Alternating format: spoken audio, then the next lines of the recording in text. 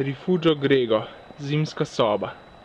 Evo, imamo en pograd in miz, mizo, pa nekih stolčkov, pa tam zgleda nekaj podobnega prvi pomoči. Takole, evo, na vratih pa piše Bivako Invernale. In ja, tole je pa ta koča. Bivako Invernale, do sem se pride, lahko se pripeljete skoraj do sem iz Dunje, ampak je kar dolga pot. Uh, prej se skoraj pride, če se gre peš iz Zajzere.